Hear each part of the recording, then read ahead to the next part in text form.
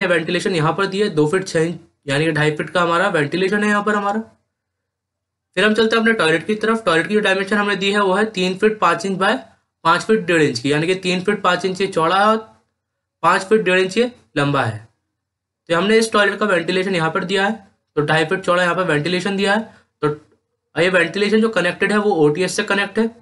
तो ओटीएस की जो डायमेंशन हमने दी है, वो है यहाँ पे हमने दिया दो फीट छः इंच बाय तीन फीट पाँच इंच की। यानी कि दो फीट छः इंच चौड़ा है और तीन फीट तीन फीट पाँच इंच लंबा है। तो टॉयलेट और बाथरूम की गैस इजीली पास आउट हो जाएगी। फिर हम चलते हैं यहीं से। तो हम यहाँ से आगे बढ़ेंगे। तो हम आएँगे अपने स्पेस में। तो यहाँ पर हमने एक स्पेस दिया तो इसी की बिल्कुल जैसे एंट्री करेंगे तो यहाँ पर हमारा वॉश बेसिन लगा हुआ है। और ये हमारा स्पेस है। तो ये हमारा आठ फीट चौड़ा स्पेस है, आठ फीट लंबा स्पेस है और चार फीट साढ़े चार इंच चौड़ा स्पेस है। तो यहीं हॉल के बराबर में हमने एक और टॉयलेट दिया है। तो हमारा टॉयलेट है। इस टॉयलेट की जो डायमेंशन हमने दी है, वो है चार फीट बाय छः फीट की, यानी कि ये चार फीट चौड़ा है और छः फीट ये लंबा है। यहाँ पर हमने इंडियन सीट रखी है। इस टॉयलेट का वेंटिलेशन हमने यहाँ पे दिया है।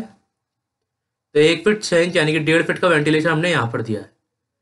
इसी तरह से इसी टॉयलेट के बराबर हमने वॉश एरिया दिया है। वॉश एरिया का जो डायमेंशन हमने दिया है, वो तीन फीट साढ़े सात इंच बाय तीन फीट साढ़े सात इंच का है। यानी कि तीन फीट साढ़े सात इंच ये चौड़ा है और तीन फीट साढ़े सात इंच ये लंबा है। यहाँ पर आप अपनी वॉशिंग मशीन भी रख सकते हो अपने कपड़े धोने के लिए। तो वॉश एरिया का हमने यहाँ पर वेंटिलेशन दे रखा है, यानी कि दो फीट चौड़ा वेंटिलेशन है। तो टॉयलेट का वॉश एरिया का जो गैस होगी, वो इस वेंटिलेशन के थ्रू पास आउट हो जाएगी। और ये हमारा डक्ट है। तो हमने दो फीट चौड़ा डक्ट दिया है और तीन फीट साढ़े सात इंच लंबा डक्ट है हमारा यहाँ पर। फिर उसके बाद चलते हैं हम, जैसे यहाँ से एंट्री करेंगे तो हमारा आएगा फ़र्स्ट बेडरूम यानी कि हमारा पहला बेडरूम है। इस बेडरूम की डायमेंशन हमने दी है वो है ग्यारह फीट डेढ़ इंच बाय चौदह फीट की। यानी कि ग्यारह फीट डेढ़ इंच ये चौड़ा है और चौदह फीट ये लंबा है। तो यहाँ पर हमारा बेड आ जाएगा, यहाँ वार्ड्रोब होगा, यहाँ टीवी आप चाहो तो यहाँ पर अपना एक सोफा भी रख सकते हो जिस तरह से हमने रखा है। इस बेडरूम की विंडो हमने यहाँ पर दी है तो पाँच फीट चौड़ी विंडो हमने यहाँ पर दी है। आप चाहो तो यहाँ पर चार फीट चौड़ी भी विंडो रख सकते हो। फिर उसके बाद हम चलते हैं अपने लिविंग एरिया में तो यहाँ से हम आएँगे, यहाँ पर हमने दिया है आपको लिविंग एरिया लिविंग एरिया और डाइनिंग एरिया जो हमने दिया है, वो है ग्यारह फीट नौ इंच बाय बाईस फीट साढ़े चार इंच का, यानी कि ग्यारह फीट नौ इंच चौड़ा है और बाईस फीट साढ़े चार इंच लंबा है। तो यहाँ पर हमारा सोफा सेट आ जाएगा, यहाँ हमारा टीवी, आप यहाँ पर अपनी डाइनिंग टेबल रख सकते हो। इसी लिविंग एरिया और डाइनिंग एरिया के सामने हमने दिया है दूसरा बेडरूम तो यह है हमारा सेकेंड बेडरूम इस बेडरूम की डायमेंशन जो हमने दी है वो है दस फिट चार इंच बाय चौदह फिट का, यानी कि दस फिट ये, दस फिट चार इंच चौड़ा है और चौदह फिट ये लंबा है।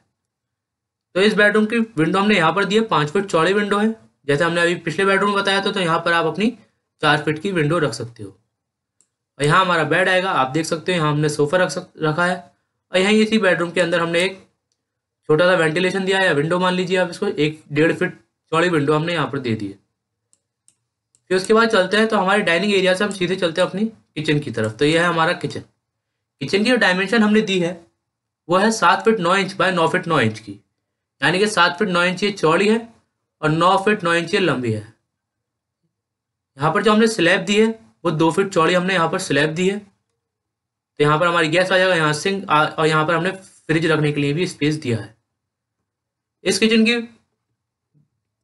इस किचन में विंडो हमने यहाँ पर दी है, तीन फीट चौड़ी विंडो है। तो इस किचन की जो भी गैस होगी, वो इस विंडो के थ्रू पास आउट हो जाएगी। फिर हम चलते हैं अपने तीसरे बेडरूम की तरफ़। तो यहाँ से हमारी तीसरे बेडरूम में एंट्री होगी। तो ये है हमारा तीसरा बेडरूम यानी कि यह है हमारा मास्टर बेडरूम तेरह फिट बाय चौदह फिट का।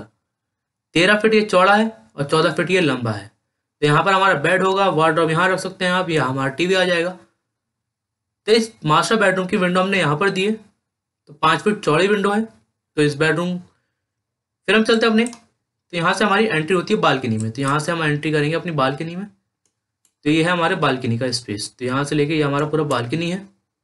तो बालकनी का यहाँ का जो एरिया हमने दिया है वो है छः फिट नौ इंच बाय आठ फिट छः इंच का। यानी कि यहाँ से किचन की इस विंडो से लेके यहाँ तक हमारी छः फिट नौ इंच चौड़ी है और आठ फिट नौ इंच आठ फिट छः इंच ये लंबी है।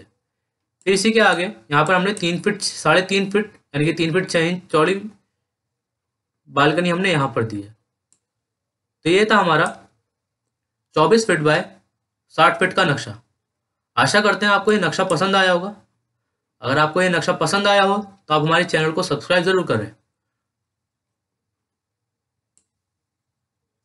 फिर मुलाकात होती है आपसे नेक्स्ट वीडियो में। तब तक के लिए टेक केयर